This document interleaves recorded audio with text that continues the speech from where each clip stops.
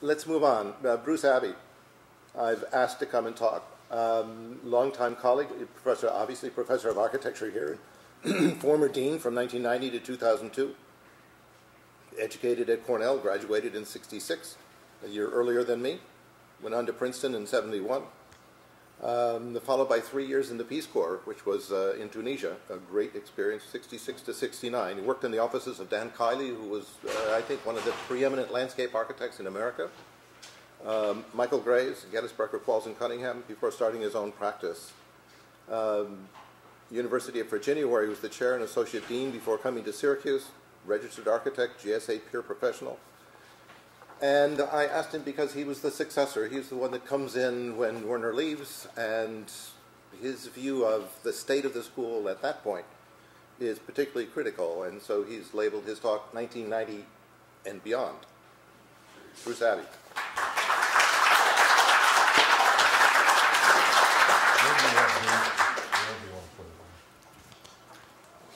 Do you want to leave that image up, or would we? Uh... Yeah, you can leave that image. It's good. Why not?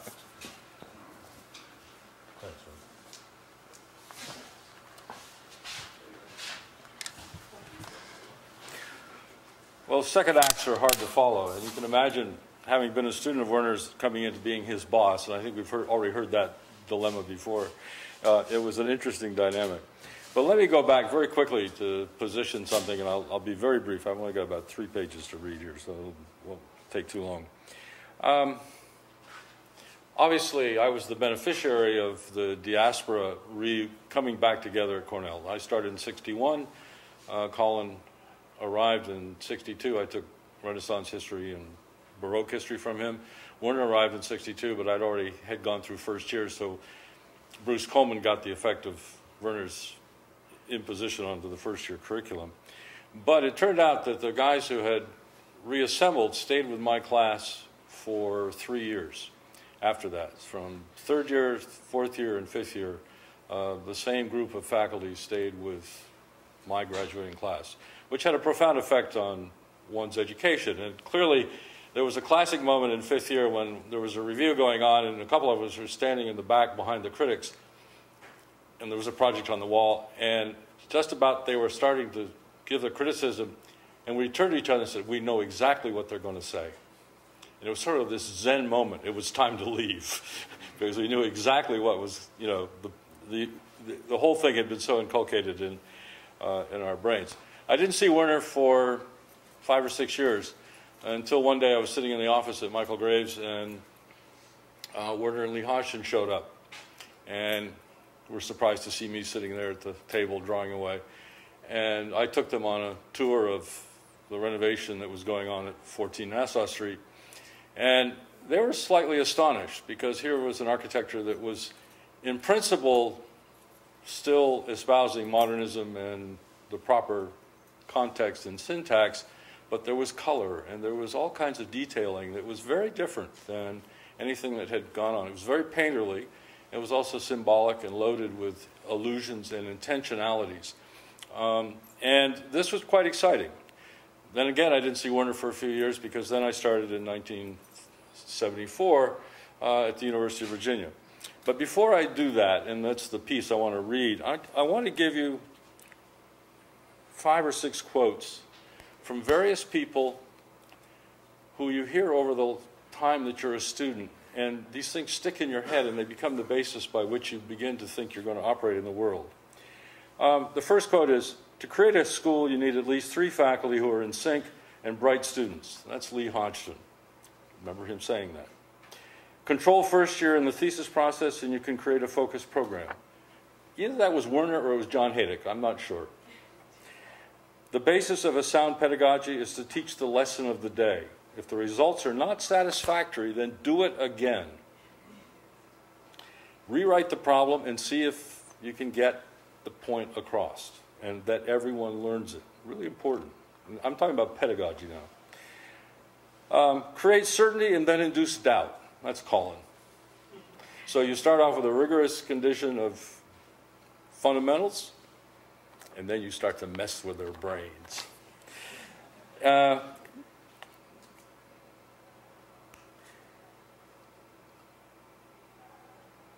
teaching is an honorable profession. That is my quote, but it's what Werner instilled in me as a value system because of, of the way he was and the way he operated in the world. So he made, and that was not, it made teaching as a possible career as opposed to necessarily being a corporate architect. Um, and there's the one from John Shaw that I love the best because John came over my board one day and he looks down and he says, uh, Abbey, you might, could, should, would shave that drawing. and, you know, it was one of those drawings that, that had a little too much greenery on it and obscuring the architecture. And it was about the best message I could get about, and forever stuck with me, that graphics have to be explanatory and clear. And good drawings, there's no excuse for not doing good, clear drawings. Uh, and John, I forever owe that one. But as you can see from the cast of characters that I'm quoting, it was that crowd that Bruce introduced here at the beginning of the, of the lecture. And so I'm a product of that condition. I also was lucky enough when I went on to, to Princeton to study with Vidler and Frampton and a whole host of other people, Maldonado and so forth. Uh, so I had, I had the full treatment, as you, you might say. So off I went to Virginia, and that's where I will start this very shortly. And um, while at Virginia, I pursued a kind of parallel career to what Werner was doing here, starting in 76, which I helped start the Venice program, the Vicenza program. I became chair. Um, brought, I hired faculty from here to teach there. Uh, he took students from here to come to Syracuse in the graduate program. Uh, and we started meeting on, on a wholly different basis at ACSA meetings and so forth, and got to know each other. So by 1989, Werner announced that he was stepping down after 14 years as dean he reasoned, at least in conversations with me, that there was a new provost coming or already in place, and he was thinking that tough times might be coming. And they had the opportunity to teach at the ETH Zurich, and with, with old friends and colleagues that he really wanted to be back with. It and it was time. He was tired. 16 years, 14 years as dean is a long haul. Uh, it's one thing to push it up the push the whole thing up the hill once or twice, but when you do it 16, 14, 16 times, it's a long, long road. Um, I had crossed paths with him at past. I'd crossed paths with him at ACSA events and been on occasion invited to Minnowbrook conferences and super jury events at Syracuse. So I knew many of the faculty here and the values of the school with which I was very sympathetic. The emphasis was on teaching architecture and preparing students for the profession, which after my 16 years in a 4 plus 2 program was refreshing. I love 4 plus 2 programs, but the, the idea, of the opportunity to come back and work with a school that wanted to prepare people for the profession and teach architecture as, to everyone as they could uh, really seemed to be uh, a, a desirable condition. And it didn't hurt that we, Syracuse had already put in place, as you've heard from Randall, a Florence program where I could capitalize on my Italian learned while I was an exchange student in, in Rome uh, in the Liceo Classico during my senior year in high school. So I took the job when it was offered. I came up for interviews, did all that stuff, knowing full well that following Seligmann was going to be a tough act. Little did I know. Um, upon arrival in June, Werner briefed me for three or four days morning and afternoon and over lunch on what he wanted to see happen next. I should have saved the notes. I don't know whether they're in the file somewhere or not, but he had a list of things. You will do this, you will do that. I mean, this is like total control. Um, I did agree with much, but certainly not all of the suggestions, if you would, quote unquote. Uh, it was a bit, it was a long list, and it was a bit overpowering, and, and I have to say a bit annoying uh, to be all honest, because I was coming in with my own agenda as well. Events, however, soon overtook all of this. In August, the university administration, including the five newly hired deans, went to Minnowbrook for a retreat where the chancellor announced that he was resigning, that the university was in a severe financial crisis due to a 20% decline in the cohort of 18 year olds in the United States, and that the new deans had to save the bacon, so to speak. Being a tuition driven university budget, the target was set at a 20% cut reduction across the board, matching the demographic drop. Each school had to prepare a report on how this was to be accomplished and why they could or could not do it. Nice, nice beginning. Bait and switch. Here we, um, and so I had the list from Werner what I had to do, and I had, you know, then I had the chancellor say, "You can't do anything. Um, you're in trouble." So, but I was successful in writing the report and defending the school, given that the, the School of Architecture had the highest SAT scores of incoming students, and we had the highest um, percentage of acceptance, or highest application rate for acceptances of any institution in the school. Um, and along with Maxwell and Newhouse, the School of Architecture was exempted from the budget cuts. Now, this was small beer to the faculty. We were hoping for great new progress, but it was big beer to me because we didn't have to try to cut 20% out of the school, which would not have worked at all. Um, a voluntary retirement plan for faculty was put into effect, and university budgets were slashed. Ultimately, we cut out over $68 million out of the university budget, out of the operating budget, which was 1990, 68 million. So it was a lot of money. Uh, the engineering school, for example, was running a $10 million deficit and they didn't know it. That's how sloppy things were.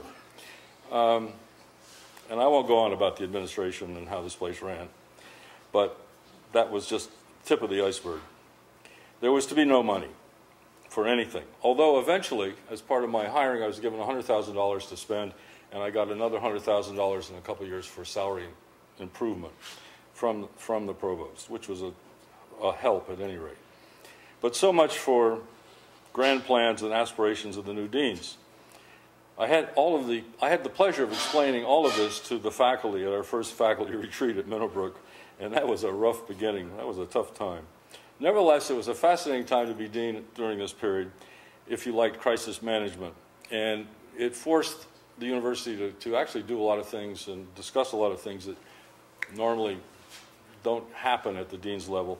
And we actually cooperated with each other, and it was, it, it, it was a, a, collegial effort to, to survive. Uh, and it, over time, the university came out of that process whole, which was a good thing, and I'm glad. I actually take great pleasure in having participated in that whole process, despite the angst that it caused. But I had to focus on the school and Werner's agenda and my own.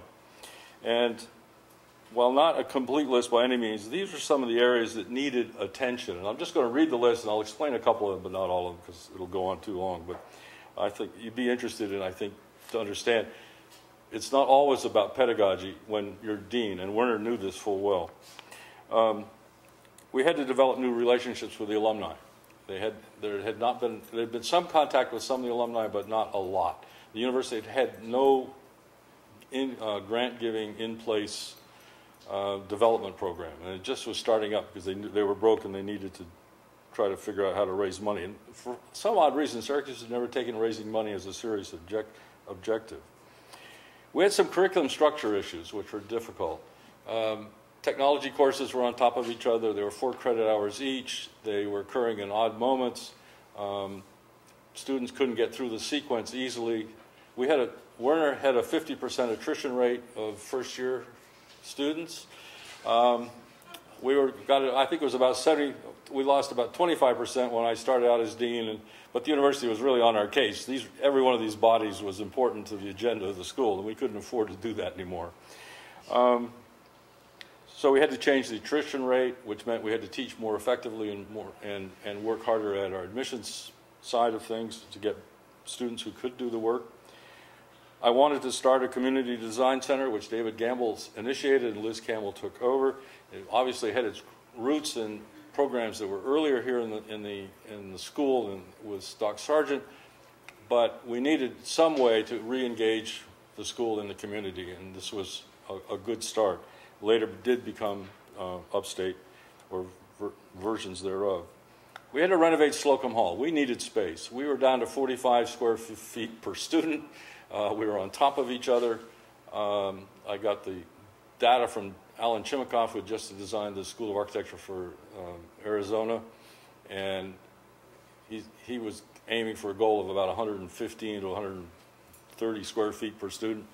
We wrote, I wrote the report to the uh, provost, and it was the first time he'd gotten a proposal for a new school on his desk. This was at the height of the recession. He kind of looked at me, Are you out of your mind? Um, but it became the model. The report was well enough done and, and helped with the faculty, and Munley particularly, uh, in positioning the idea that the school could be expanded, could get new facilities. And the issue was whether we got a new building or whether we stayed in Slocum. Werner, when I told him all of this, that it was going forward, he said, stay in Slocum. He really, you know, and this was something he really wanted to see happen. And it took 12 years, three deans, four provosts, five chancellors, whatever. It took forever, but here we are. And only, the only problem is that we designed it for 550 students and we now have 750 students. So we're back to 45 square feet per student again. Uh, so the, world, the, the worm turns. Uh, we had to hire new faculty. The voluntary resignation program made it available, made a lot of new positions available because the senior faculty retired. Some had to retire because they were 70, because that was the law. Lou Skoler got caught in that one. Um, the law was changed the next year, but the Pepper Amendment. But um, we had a lot of vacancies, and that created an opportunity to to bring in a, a wholly different, um, newer and younger and, and diverse faculty at that point.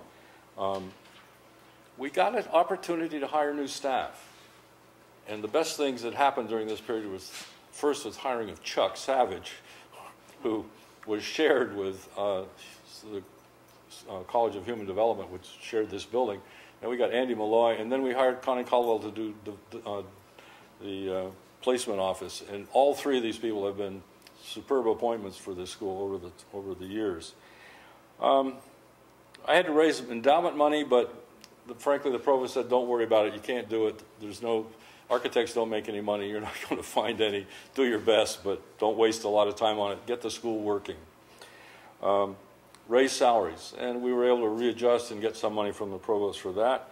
Recruit students, and that was a lot of a lot of time was on the road, spending talking to students, trying to get them to come to Syracuse and, and, and explaining what the school was about.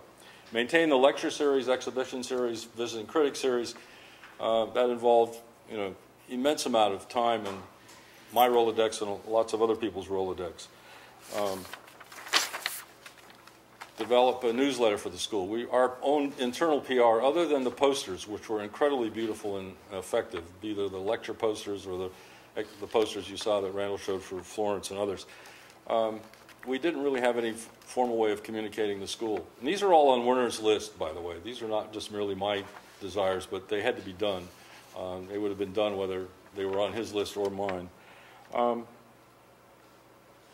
and finally, and, and I think was interesting to be able to do was to develop a, a really cordial working relationship between the with and among the faculty so that we could keep in, even in this tough period of economic restraint uh, keep the school focused and develop uh, the programs that were in place the central issue facing the school, other than the lack of resources and the lack of space, was the breadth of the curriculum. We were known for teaching basic design really well. This is a quote from Philip Johnson, no less. Um, our thesis process was second to none, and I still maintain that it was a superb construct. But the pedagogy seemed to me to be a bit narrow, and it was to Werner as well. It was really based on a Baukunst model based on the intersection of constructional logic and modernist aesthetic. And the school needed a greater intellectual depth and breadth curriculum reform with more elective liberal arts courses was required, and we, we started, we restructured the curriculum so there would be elective, uh, liberal arts elective required every semester in the 10 semesters, once each semester, as opposed to lumping them together. And that, and the NAB was also pushing in terms of their ratios. To do this, we had to raise the curriculum credit hour. We got up to about 168 hours to graduate, which was a humongous load. Um, and it meant 18 hour semesters every semester for five years, which is backbreaking. And ultimately, I kept toying with the idea of joining VPA and getting them involved with the school. Gershon said, the provost said, don't mess with that. Um, we tried thinking about alternative programs, um, four plus, you know, get a four year and out program. Cornell had a way to sneak out of the five year program, if I remember correctly.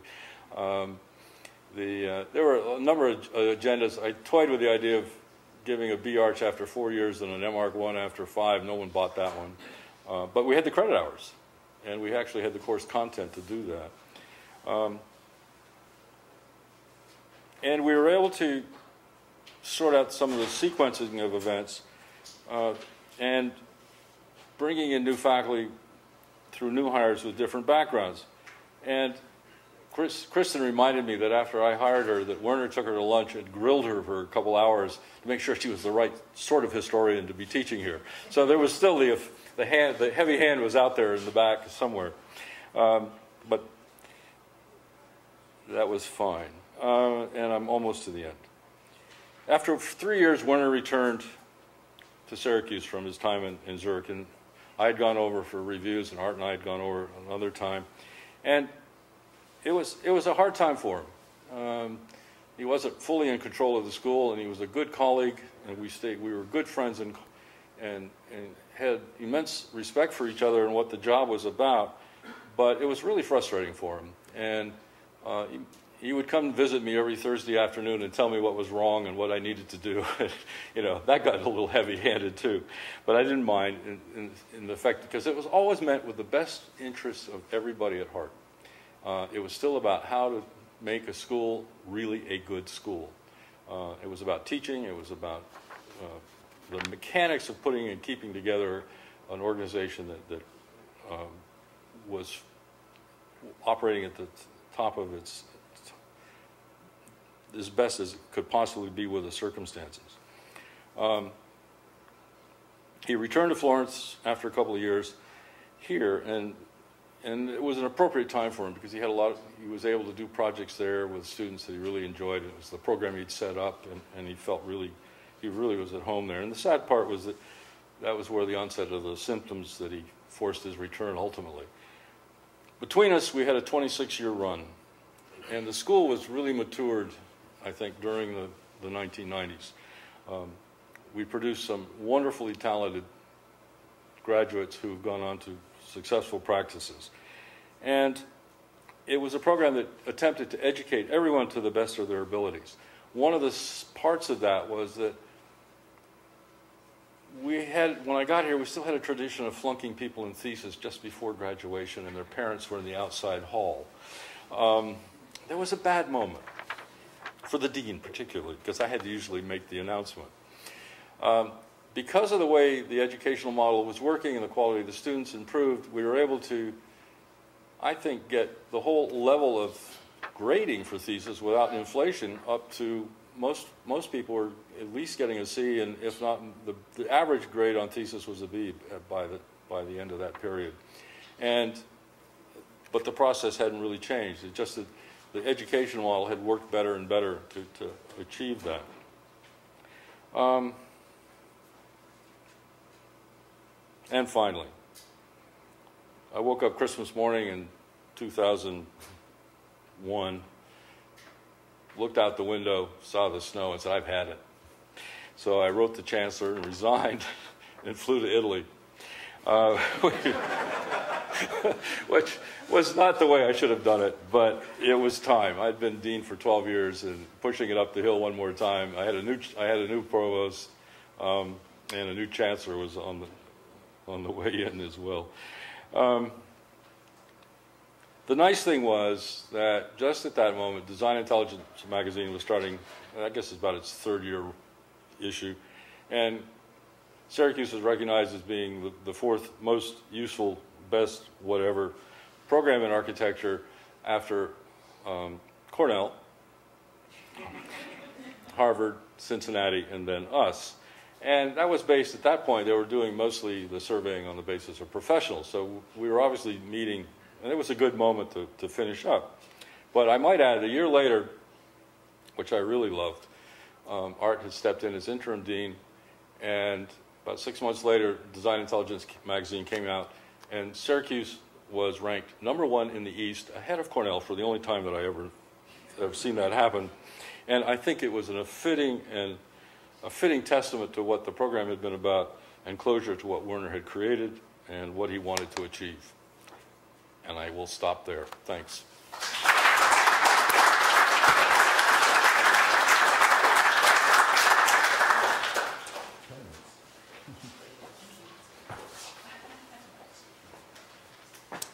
our concluding speaker, um, Val, Val Warke.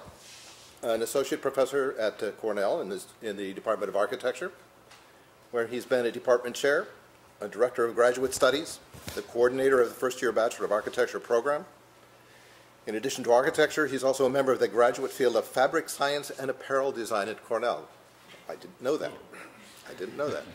Uh, previously, he was an assistant professor at Harvard University's Graduate School of Design. He's authored numerous articles and essays on architectural design, criticism, and theory. Uh, things that have appeared in journals such as Assemblage, A plus U, Cornell Journal of Architecture, and the Harvard Design Magazine, as well as many monographs. He's collaborated with Thom Mayne in uh, writing the book Morphosis and with uh, Andrea Simitch in writing the book The Language of Architecture, which is about to be released. Uh, recently, research has focused on genre theory, including issues of fashion, formalism, populism, reception, and various associations to literal theory and criticism. It's a great sentence. Especially as related to the work of Mikhail Bakhtin, and as a partner in Simitch and Warke, um, he's collaborated on the design of numerous projects and competitions from the scale of the house to that of the city, received his B. Arch from Cornell and his M. Arch from uh, Harvard. And I've specifically asked Val because, A, I've known him for many, many years, um, and he's someone who hasn't taught here. Um, but we worked together in, um, in Seligmann's office in Cortland. And as I recall, when he was endlessly confronted with the seemingly endless process of revisions and revisions and corrections, and I think we work on the Olean fire station. Yep, Andrea joined us for a while. As I recall, he described the process as, quote, the never ending inward spiral. And I always remember this incredibly visual image of it's never going to stop. Um, but he knows us very well. He writes beautifully about architecture, and because he represents what I have come to think of as the view of us from the outside. And so, my pleasure. Val.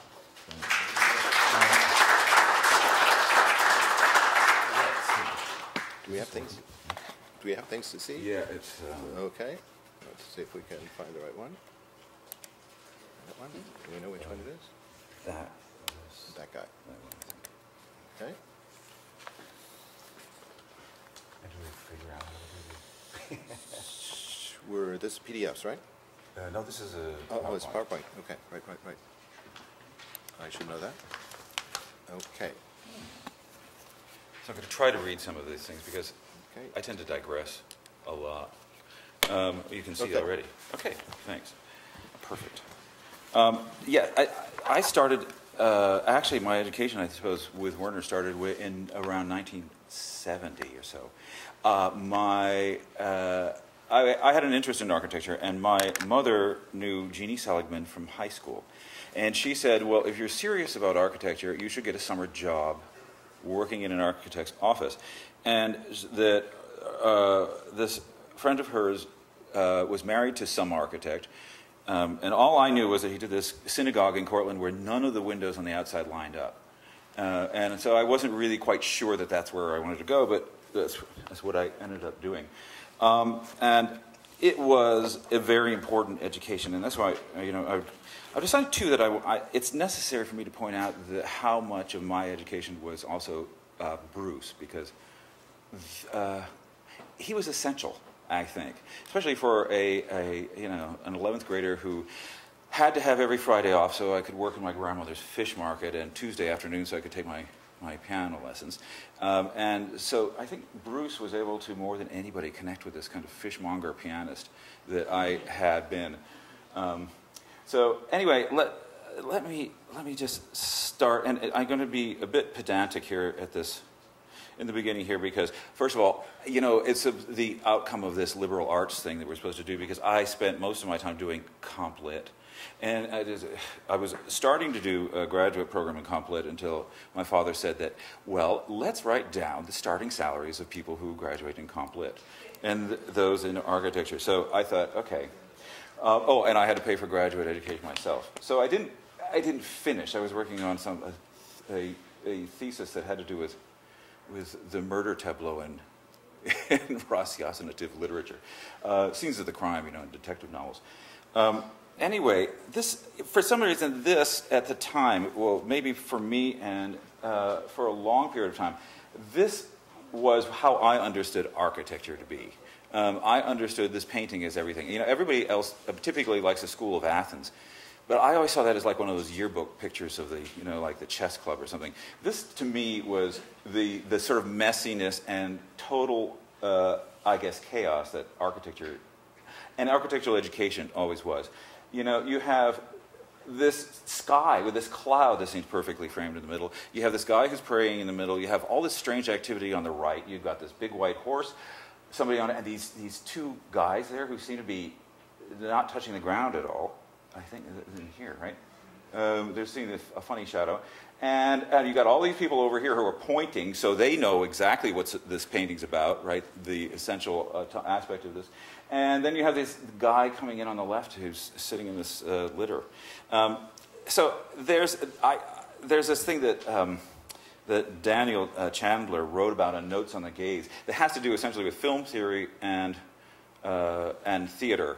Uh, but I thought it was really, really relevant to how finally through Werner and Bruce. Indirectly, I understood, I understood this painting. I mean, there's this notion of the spectator's gaze, which is what you see when you first go into the uh, Stanza di Eliodoro. You sta- stare there, and you see all of this other stuff uh, encrusting the entire room things all over the place. You see obliqueness and you see this, the painting like this. Then there's a second spectator's gaze, which is where you sort of look up and you sort of imagine yourself floating up in the air looking at this thing. And then there's this third spectator's gaze where you start zooming into the painting itself. And you sort of, even though it's not possible, you imagine yourself to be literally hovering in the dome of this uh, space uh, in the cross vault, looking across at this thing, and you focus only on the painting and all the other things around to go away. Then there's this thing that was called the editorial gaze, which is the one that the person who produced it wants you to have based upon the cues of production. In this case, horizon line, vanishing point, all these kind of funny things that have to do with the columns and all this stuff. And clearly, the editorial gaze has to do with well, it has to do with this, this uh, a center somewhere in, around in here, a horizon that's going right through here, right through these guys' eyes, uh, and across this thing. And then there was this notion of the camera's gaze, the idea that you might sort of focus in on a part of the painting and look at that because it, that's a way, or that, that, that the art history text does it. It's like, well, you'll see camera gazes. Um, uh, and so there's this camera gaze, and then there's this notion of the, uh, well, that's not completely there. But this is, there's the intradiegetic gaze, uh, intradiegetic gesture, which is that these ladies here and stuff, they're pointing, right? In other words, they're telling you what's important. Look over there. And you get that in architectural history and theory a lot. That's what's important. Look over there. And, that's, and then there's this intradiegetic gaze, which is what uh, Pope, this is Pope Julius II, uh, is doing there at the top. He is sort of very calmly sitting in his gestatorial chair, uh, staring back at uh, the guy who's praying in the, at the rear of the painting. And then there is the extradiegetic gaze, which is really crucial. This kind of, despite all of the chaos that's going on in this thing, there's this one, two guys actually, uh, Raphael on the right, and, and then here, uh, Marcantonio Raimondi, who is Raphael's favorite engraver, who's staring right at us. He is looking at me and saying, This is, you know, in a very calm way, just pay attention to me. Come into the painting, uh, and we, you'll find your way around. And, you know, I found that the intradiegetic gaze up there was Werner. Um, and that Pope Julius II, this notion of clearly within, clearly knowing, I mean, eh, you know, the Pope shouldn't have been there in the Old Testament. Uh, and so, but he but he knew perfectly well what was going on, and he knew that he knew that all this thing about Heliodorus being sent by the king of Syria to steal the gold from the temple from the widows and the orphans. That this was all sort of prefiguring the idea of Christ coming in eventually and, and casting out the money lenders. And so, and he was seeing this all in one great historic sort of period entity. Uh, and then there was Bruce, who is the extra diegetic gaze, the one who was always pulling me into the into the composition, getting me to understand what was going on despite all of the things that seemed to be going on in the office uh, and at all the time. Now, while the, the Pope Julius II, uh, Werner do, didn't look like that, um, Bruce actually looked just like that, um, especially in 1970, right? Yeah.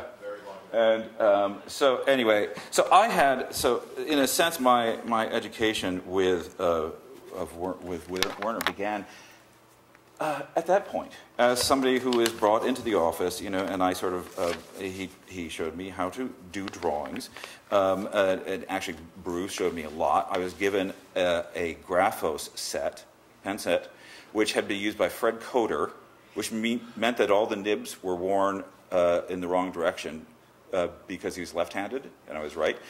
Um, so, uh, but, you know, I sort of didn't know any better, so I just kind of went along with it. The other thing that happened in part of this education was that um, Werner gave me these five books from his office. He said I had to read these five books. It was like, I mean, this is other than working. This is, this is the first job I've ever had not for my family. So I thought, okay, I better do this. And these were tough.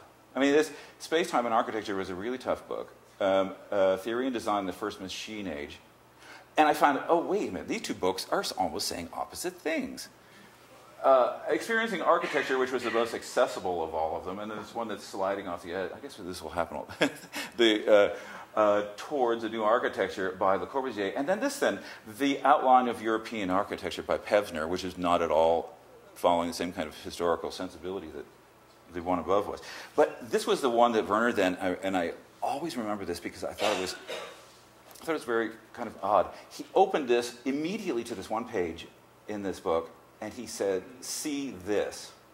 This is the most perfect space anybody has ever designed." And it's like, okay. Um, and I think he was right. I mean, the, the, so what happened was that, that that was the beginning of the pedagogy, and then. Um, and then eventually we get on to um, later days. Um, the options, when I, I uh, Werner told me I had to apply to Cooper. It was the only school that was doing any good work in those days. Um, he was already pretty negative about the things that were going on at, at Cornell. Um, uh, my, the guidance counselor at high school told me to go to Pratt because I think that guidance counselors are, are always told to tell people to go to Pratt. And I went to New York and I looked at I looked at Pratt, and Pratt was in Brooklyn, and I, uh, I didn't go past the, the uh, walls. And then, and then Cooper, uh, Rat, did you know it was in the Bowery? Did you? Did you? And you went there. And so, anyway, I couldn't take that. I couldn't imagine living there. And because I was, you know, a suburban kid from upstate New York. And so I went to Cornell, and I didn't tell him that I was applying to Cornell. I think he found out, though, anyway. So I started my education at Cornell then, and the thing is that in those days, the, um, at the start, it seemed, and actually, it's, it's it, I suppose 10 years earlier, it was even more the case. The, the, the options were very clear in terms of how to teach. Um, it was easier to be didactic in certain ways uh, because it was acceptable and, and even at times, I think, welcome uh, for professors of architecture to be dogmatic. Um, and with much more limited materials for representation and construction in those days, uh, I think the anatomy, anatomy of a building was always much more fundamentally understood. Uh, still, Werner and Cornell try to avoid a kind of simplistic didacticism. Um, as a matter of fact, my first year there was coordinated, and we tend to do the first year as like a package often, you know, with one person. I don't know if it was like but it's been there since, since, practically I've been there. And it was John Shaw, who you've seen in some of these other images, one of the original Texas Rangers. But he was trying to institute uh, Mathias Ungers, who had recently come as chair, uh, curriculum which was um, based on a kind of strange version of Team 10, but it was also Ungers' own concept of, of sort of tropes as the major technique for initiating a design process, metaphors, sometimes metonymy.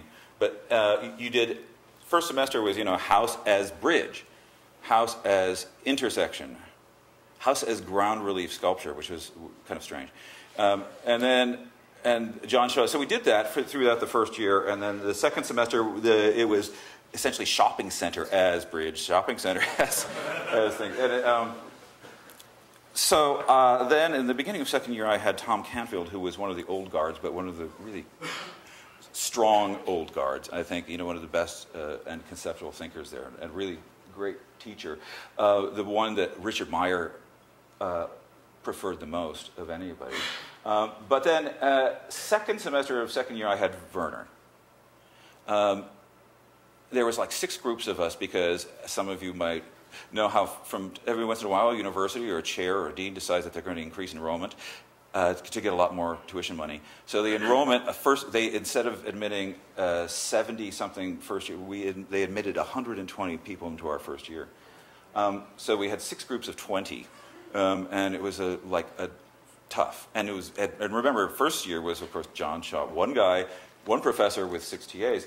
Uh, second year, then we broke into these groups. We had individual groups, and, but Werner was quite upset by a couple of things, and I, and I actually found a, a, memo, well, a response from uh, uh, one of the acting, uh, one of the sort of chair, uh, assistant chair types, um, responding to Werner's memo because Werner wanted a, a clear message for each semester.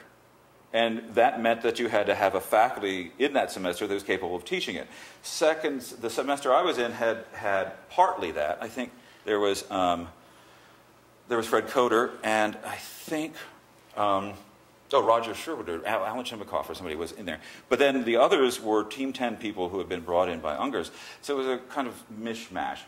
Um, but this was the semester that I entered into, and that was, uh, and I think since I was, uh, this, I was told that this was all about pedagogy, I have to bring in this, this one point here that, that um, when there was a symposium, uh, a kind of joint Cornell Harvard symposium on the 1970s architecture, you know, school architecture in the 1970s, um, Rafael Moneo, and um, which is actually the third Raphael here because I had the painting. There was I was also hired to tutor Raphael Seligmann in math uh, because because uh, math is the one thing that I was really good at.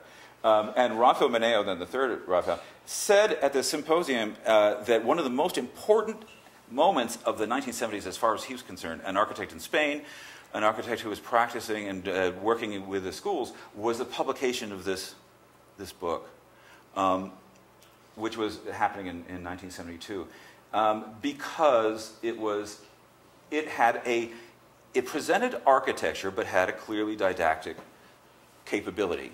You could develop a pedagogy based on the various projects that are within here, except for one. And he went through the list of, you know, Eisenman, uh, Graves, Hejduk, and Meier each presented different strategies of architecture, clearly distinct, that were all, uh, you know, influenced education. And he said the greatest uh, sadness of of this book and of the 70s was that, that it was Gwathmey and not Seligmann. Um, because he said that the most profound academic uh, system would have occurred if, if that had been Seligmann there instead of, instead of Gwathmey. And I think, you know, he's, he's quite right. Um, so, anyway, the context then of Cornell, getting back into that and to point out this notion of the, of the pedagogies, and so much has been said already, I'm not going to mention it too much. I'm not sure who the second guy is. Um, somebody here know? Really? He would have been gone by that. I think. I think it's uh, Hafner or something. Bernard Hafner, who is an Austrian Team 10 guy. Who was, I think he was teaching. These, these were mostly some of the, the, second year people you can't see. This is Jerry Wells off the right. Mathias Ungers was chair. Uh, Fred Koetter, uh, Werner there, uh, and that's what they think. And then that guy. Um, and but the school itself was slightly bifurcated because you had an Ungers strain of uh, academic modernism, and then you had the other guys, the, maybe the, the, Texas Rangers sort of strain of, of, of how to teach. Um, but, and I've said this elsewhere, that uh, while graduate students had to pick, they had to make their decision. You're in this stu- Rowe studio or you're in Ungers studio. Undergrads sort of negotiated their way through the education, which I thought was a kind of very strong thing to do, a very enriched moment. And the things I also have to say, um, Werner Seligmann never, never somehow downplayed the importance of Ungers, even though they often disagreed. And this is sort of typical, because there was no doubt that Ungers was talented. Um, so what we did was, I should mention that, okay, and is that the studio teaching, uh, this was one of the sections, the, the lesson of the day thing was mentioned, and that was what Werner very much believed in. Now, the problem is in a, in a 14 semester, uh, 14 week, 13 week semester, uh, you only have so many days. So you can only have so many lessons. Um, and it was a problem. And with the idea that we redo it all over again. So we started with a cube, which was, of course, you've seen the, some of the cube exercises, the spatial transformation. And the way it, that the studio would operate typically was like, in this case, there would be a table, and all the cubes would be out on the table. Werner would go around picking up, uh, looking at the cubes and things like that. And um, like, he picked up one cube, and he says, whose is this? Whose is this? Right, and of course, somebody would raise their hand. Well, actually, it was mine. And he said, This looks like it was made with beaver teeth. Um, I was really bad at, at models. Uh, but anyway, that's the way it kept going. But the thing that was amazing is that otherwise you're all sitting around the table and you're seeing all this work. Typically, then for each lesson of the day, and as I said, this is spatial transparency, and that went on for like two weeks of every two days, brand new uh, cube, along with then eventually drawings of it. Um, you would have a, a kind of dominant theme. Uh, there was then the, a, a, pro, a, program that had to do site organization, um, manipulation of contours, which was an athletic complex, uh, which is based on the thing that in Syracuse, I, I don't know if that's still existing, um, that had originally planned to have a sliding roof. Uh, something urban, uh, a section urban, which is urban slot site, townhouse kind of thing or whatever, but it was always very vague what the function was. It was more important that the site was this complex slot. Then there's hillside section, in other words, topographic section problems. And, um, and it went on. There were many, many spatial exercises and things that had to do with the developments of, of architectural space in all of its complexities and strategies. But there was also things that had to do with aggregation, techniques of aggregation of putting things together, uh, whether it be transformative, whether it be somehow cumulative, and all these things. Uh, and then that led to something that had first it started with like a mat housing, and eventually to a tower. We did the senior citizen housing in Olean as a as a, as a uh, project. Um, and uh, of course, I did mine as a single tower that was like 30 stories tall because I always wanted to have a building that had red flashing lights on it. Uh, and then we got, went on until the final problem of the thing was theoretically something that brought everything in together. It was a community college in, in Olean. It was problem number 11 of the semester and was a four week problem. Um, and this is, I, I, have mine, you can see. Um, uh, I, I started out doing Carpenter Center, but it turned into the Millowners building. Um, but and it's somewhere I, I, along a, like a river or something, and then there's a road, and then there's this giant park across the street, and I just this huge thing. Um, but I was much better at drawing than I was at um, models.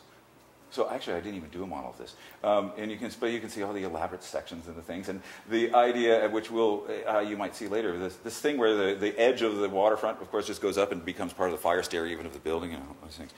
Um, this concise study of elevations, always with proportions, always with elaborate proportions, always with various kinds of organizational systems, uh, and everything that would somehow put things together. So there was always an emphasis on the, on the uh, process of design, on the emphasis on graphics, the techniques of graphics, their conventions, the accuracy of things, the craft of graphics, uh, because graphics were really quite important, especially they had to be clear. You had to have uh, well, essentially, as Werner made it very clear, graphics were the architect's primary mode of, of conveying information to any, anyone. Um, and then there was the, the, importance of the modes of, of uh, the various graphic things. Each mode, each thing, a diagram, diagrams were important, uh, obviously, plans, sections, elevations, axonometrics. Each one of these modes had its own objectives, its own capabilities, its own limits and circumstances. Um, but I think the most important part of that thing, and the thing that I remember so much more, uh, well, in certain, in certain ways, was that uh, Werner believed that we didn't have a clear enough understanding of the context of architecture that we were somehow entering into. We had had the two semester uh, history of architecture survey, which essentially starts with the classical world in those days. Um, I don't even think we looked at pyramids because You see them on cartoons and things. So, and then we started with the, you know, the classical stuff, and then we moved into all of the things that were, that, uh, you know, we, I think we made it to the Renaissance by mid-year, and then from then we did, uh, you know, one lecture on Wright, one on Le Corbusier, and then one that had to do with Mies and everybody else. Um, and, but Werner did these lectures that he was ostensibly for our group, but it was also his way of somehow, I think, uh, in a very sneaky way, getting all of the second year finally on the same page, no matter what group you were in. Because even though it was only, it was essentially, it was done for us, it was in a lecture hall that, uh, in, a, in a big lecture room that was always crowded. It had everybody from second year most people from third year and even uh, four or five other faculty members would come to this thing and just sort of shout things out to the screen. Werner would do these lectures that would start at 7 o'clock so you could break for dinner briefly between the end of studio and, and the lecture. And they would go until 11 or 12. And there were, there were I think, eight of them. And uh, they were ostensibly framed in the idea that they were trying to show us how, where, where we were in relationship to modernism. So it was the Pope Julius thing again. Um, except, in a way, I mean, the things that he showed were like amazing. I don't, I hadn't seen these things before. I don't know what, uh, you know, the, the Villa Karma, you know, this, the Grobi, and, and then you start seeing these things together and you think, oh, oh, of course. So those lectures went on, and it was usually pretty amazing. These sorts of things that were always from uh, various phrases going forwards, backwards, backwards further, forwards more, um, things that nobody essentially was showing. Luckily, we had an incredible slide uh, archive. Um, so, and these things were seemed to be making sense. Um, and again, it's one of those pieces where you just look at stuff and even if there might not be exactly the right historical arguments for the thing, um, they tended to be uh, they tended to make a lot of sense. So I mean this, and I guess this doesn't work bode well. I, maybe this is anti-American. That that Frank Lloyd Wright might have had something to do with William Morris. Um, but you know, and of course he had some, a lot to do with the Japanese and things, according to him. Um, and we do these kinds of things.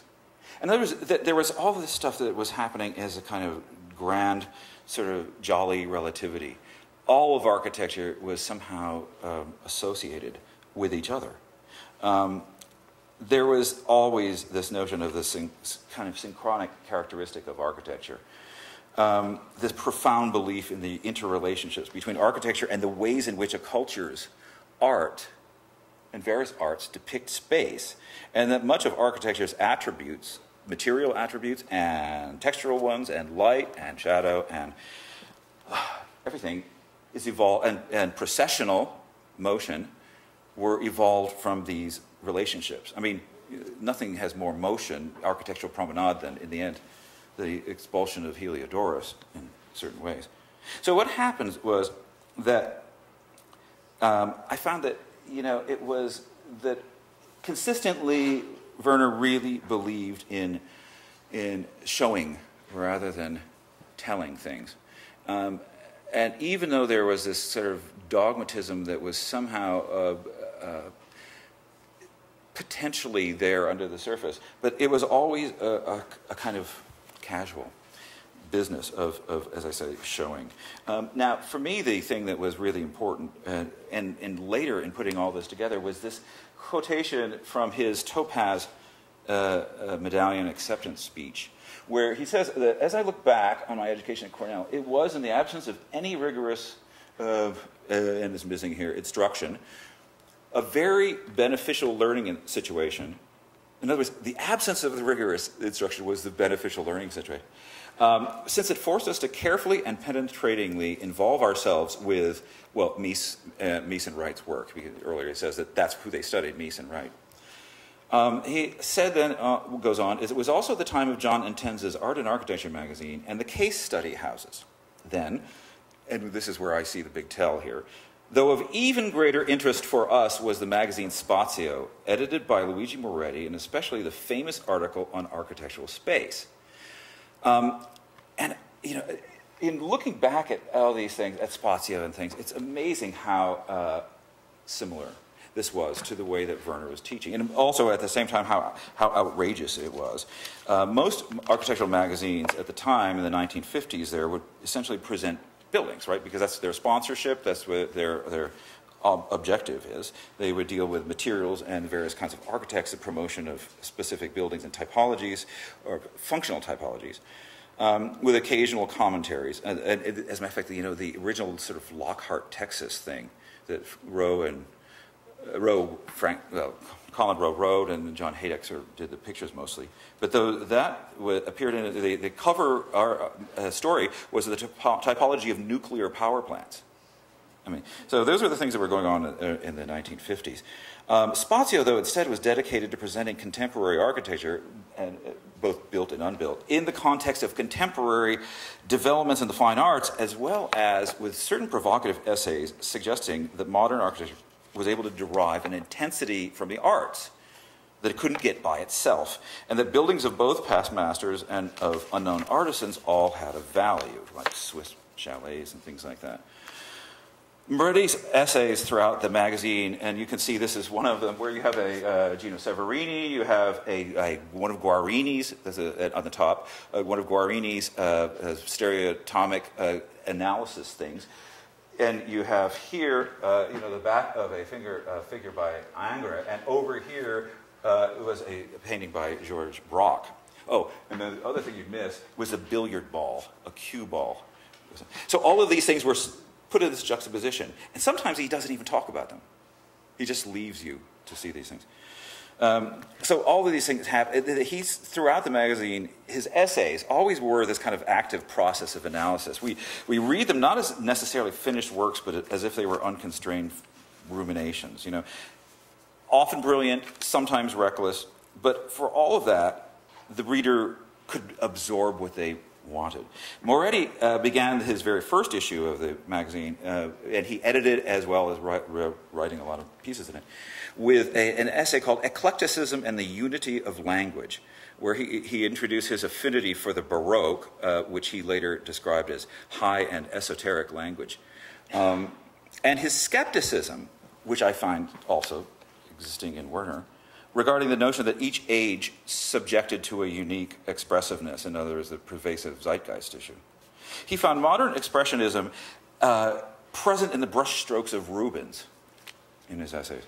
He found surrealism in the fabrics of the 15th century paintings by Cossa, in the fabrics.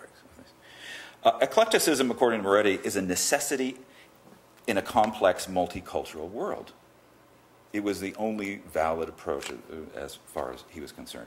And his essays, the essays that were in there were sort of amazing. And it was like, as I said, those lectures that we had had from Werner, um, uh, it was many times a point by juxtaposition. This is the end of his uh, essay on.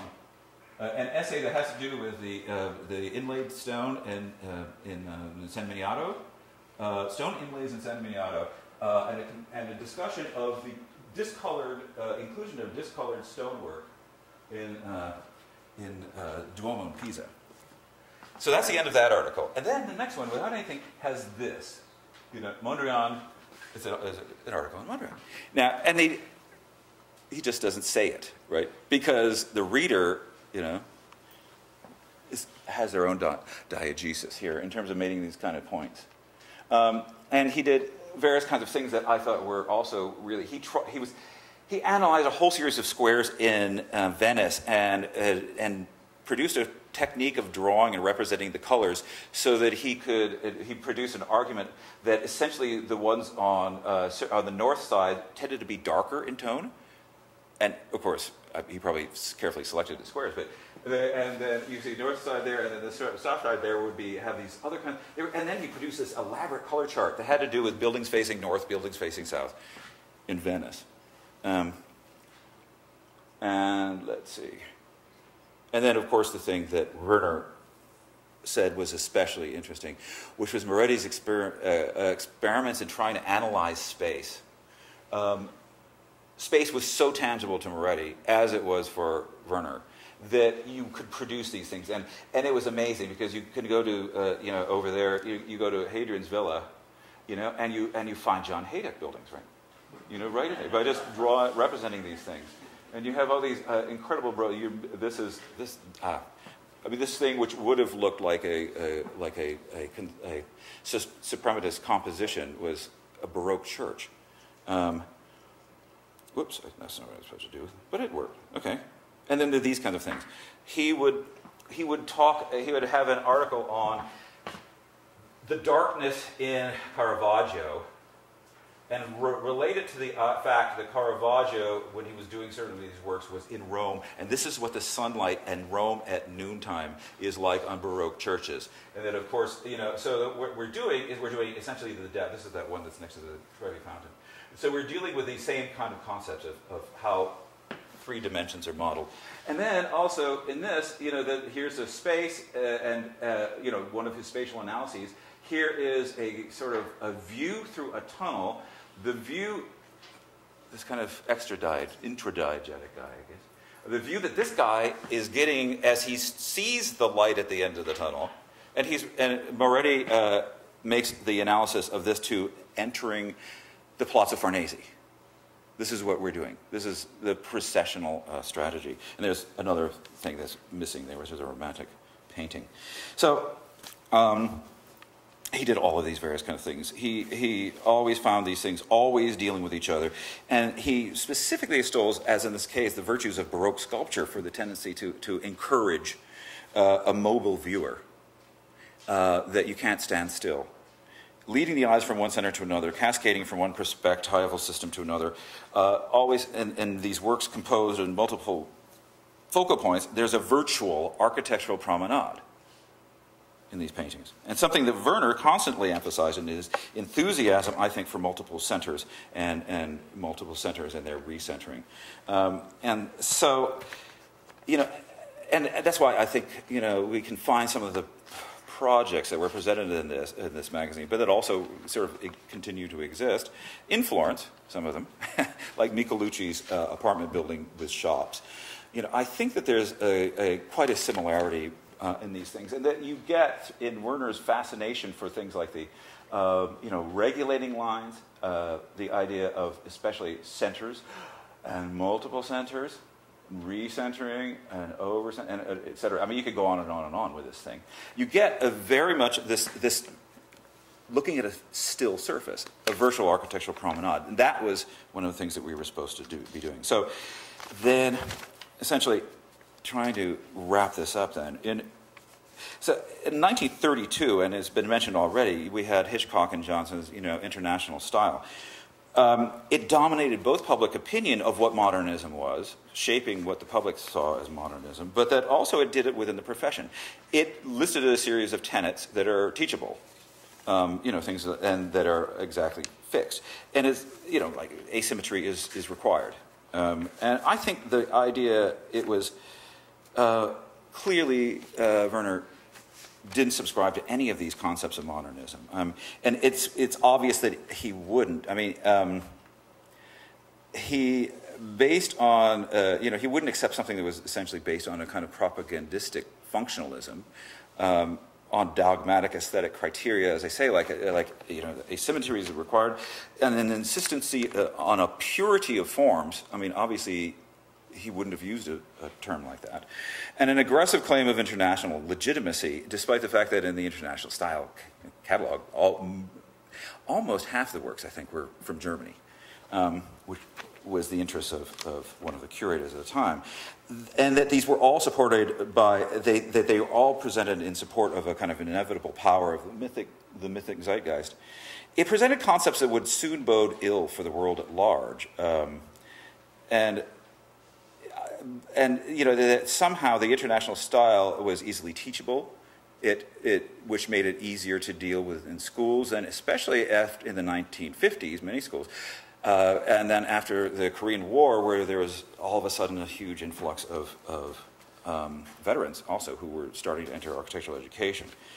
Um, so what happens was that we got these, and the schools, though, and the public seemed to be immune to some of these lessons. So Michelucci, as I said, is one of the people I think is interested in what happens. And, he, and Michelucci, interestingly enough, is one of the people who was dissed by Venturi in the first edition of the Complexity Architecture, complexity and contradiction in architecture. Uh, he was one of the architects that, he, he uh, that, that Venturi originally described as being essentially, you know, egocentric, you know, of an expressionistic modernism with no cultural values or whatever. But then he apologized later at the Yale thing because he said he hadn't visited any of his buildings when he said that. But, um, uh, but this, I mean, it, this is a kind of uh, one of my favorites. And I think that there's so many similarities that we can see in many of the buildings, Moretti especially, um, you know, the, all these sort of Baroque modernists, I suppose, um, that between that and some of the work, the thing that was going on in, in, in Werner's works and in his teaching, things that he was trying to convey. I mean, buildings that I wouldn't have known about unless I had seen them in these strange late night lectures. So anyway, what happens was that while uh, most of architecture, utopian pretensions, have been systematically belied, right? And that was already by the case by the 60s.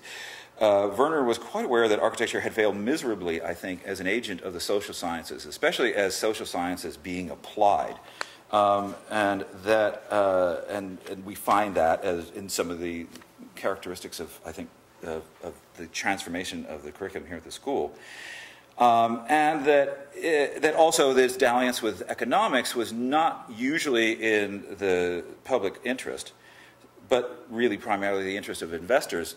That he somehow optimistically noted that the role of the arts in a society, of the arts specifically, in a general sense of the arts in a society, um, those arts were, have consistently served publics various publics through kind of elucidation, provocation, evocation, um, sometimes comfort, sometimes discomfort, sometimes quietude, and sometimes even aggression.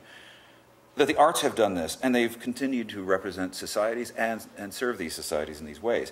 Werner Seligmann clearly wanted, I think, architecture to be empowered with the capabilities that he saw in the arts and in traditional uh, various kinds of buildings throughout, throughout time amplified by the advantages of new technologies, the things that sciences could provide, um, and essentially, you know, to, in the end, to, I suspect, to show and to not tell everybody, uh, as with, you know, in the same way that we get it with the rendered, the rendered gaze of, of uh, Julius II. Okay, did I go too far? Okay, thanks.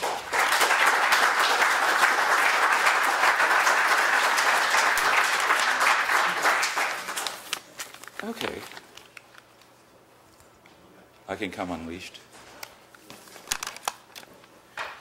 Well, the idea was that we would have a conversation here. We did. You want to do that? let's try and let's see um, what we have to say. I have no planned agenda. I have no 30 questions or even five to, to trigger it, but um, I think there's some interesting counterpoints that have taken place here that might be, might be worth noting. And if we run out of steam, we run out of steam. I have a suggestion. The two slides you had on, I thought was, the, the one slide with the two images. Yeah. Well, while we are sort of repositioning ourselves, um, There's probably lots of questions out there. yeah, uh, what was, the- what is the year in which Mathias Ungers arrives? I mean, he comes first as a visiting critic. Yeah. I have a, I have a photograph of Mathias Werner and me in downtown Ithaca as a visiting critic, which must be 1966. Yeah. But then he comes as well there when I was then he comes as the head of the of the program, and uh, let's see if we can find his image.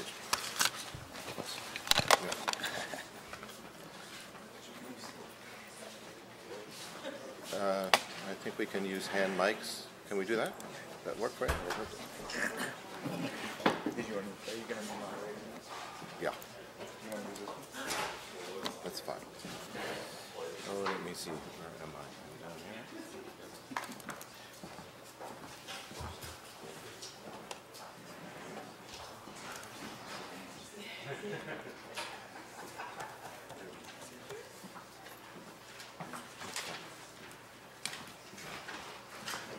Is this on? Should be. Hello?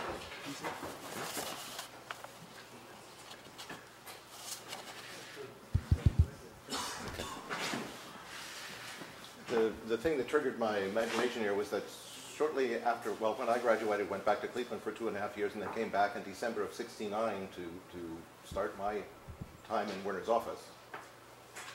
And very shortly after that, there was a big exhibit at Cornell of the work of the faculty. And so it was a kind of moment where Werner's office and Stephen Peterson Alex Chimacoff and John Herdeg Klaus Herdeg uh, who else? Um, Fred Koetter. But there was also then Mathias Ungers. And I know that because I was the one that had to make the runs to Syracuse Blue to get all of the Mathias Ungers stuff mounted and put on great big panels, square. And it was at the Andrew Dickson White Museum, and I remember that it sort of, to me, represented Cornell in capital letters at its sort of zenith because it was very shortly after that that the big purge occurred. And all of that sort of one guard was flushed out if they didn't have tenure. Lee Hodgden was dumped, but then managed to come back, and Fred Koetter left, and Mike Dennis left, and Klaus Herdeg left, and was like, whoa, what happened? And then in come this other influx of people, and suddenly the school was, instead of sort of narrow and deep, it was sort of much more broad, but also much more shallow in a way. But it represented a kind of major cusp, I thought. Anyway, uh, the floor is open for comments or for questions, either way, however you might want to handle. it. There's a lot of people who know a lot about this who are sitting out there as well. Anybody want to ask a question and launch?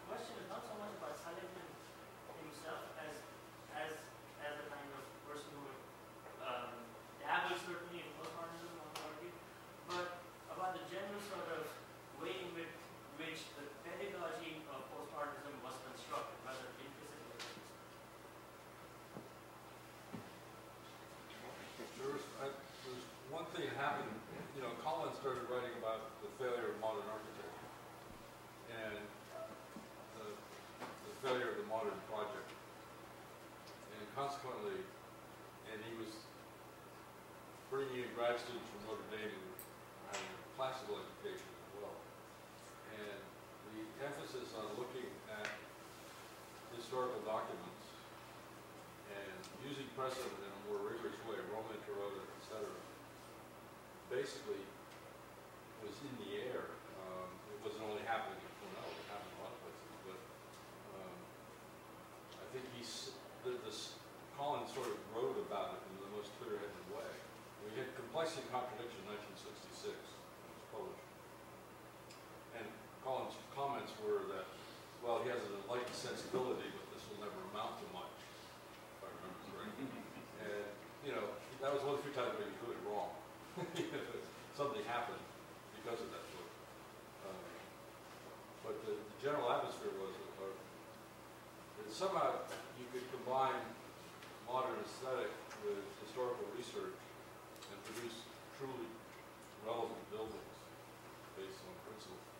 Um, And there was always about urbanism, you could produce, if you use traditional city plans, you still, with modern architecture, you could produce a new city. You didn't destroy the traditional values of the city, uh, or traditional construct of the city. But you, you could actually change the architecture and still produce a pretty decent environment. But that didn't seem to take on. Uh, Most modernists today destroy the city along with the, you know, almost slaughtering the aesthetic. Yeah, I think, I mean, postmodernism too was, um, it made the, it made the uh, references tangible in many ways, maybe more direct.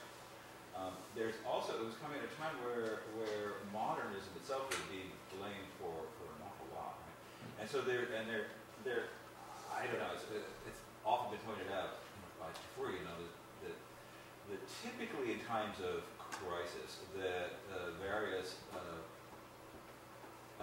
styles, architecture in particular, has a tendency to return to language, right, to the sort of fundamental language of its production. And I think that that was happening there. At the same time, we were following, as, you know, people who were, who we uh, were believing all along, and we saw this kind of evolution of, of, of their pedagogy into these other strains. Um, certain things like the Nordic classicism phenomenon, which I thought, which I, I still very much like, but that kind of thing made it very clear to see in, uh, in like Gooseberry, you know, uh, the, the manifestation already in a kind of romantic classicism. You could find things that were later in modernism, right? Because you could trace these things, you could trace these things back. And I have to say too that, you know, it, it, it, like I kind of, what is this, what's it called when you do uh, full exposure? The, the copy of Five Architects that I showed, our copy of Architects, autographed by Michael Graves. I mean, now if that means anything. Um, but, I, you know, and he, so here was this person who, other than Le Corbusier, had Michael Graves, I, I think was amazing because he produced at least five canonical works of architecture that illustrate five really key periods uh, of, of, of architectural production. And that's, that was pretty, pretty impressive. I mean, and, the, and um, I don't agree with him. I didn't like the Portland Village Mall, for example, which was sort of a mess. But then there it was.